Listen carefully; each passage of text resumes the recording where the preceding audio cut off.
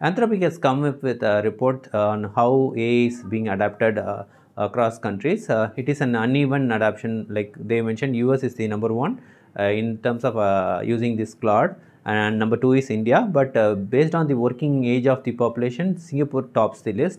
Um, individual, they are using it for augmentation. Companies are using it for automation. Um, and also within US there are a different state uh, which are using this AI for different purposes. The areas where there are a lot of softwares obviously they are using it for software related things. And places for tourism they are using for tourism related queries for this using this Claude AI and financial capital areas they use it for financial. That's quite obvious right? But what they are trying to say it's not uh, uh, same uh, uh, its, its adoption is quite uneven across geography and also for the use case also. Yeah so they've given a data for this. You can go go and check this data, see what are the other data points that you can uh, take out of it. Okay. Yep. Thank you guys.